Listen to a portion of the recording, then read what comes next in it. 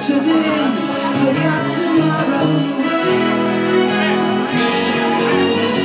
All these night the news of holy war and holy deed. Ours is just a little sorrow.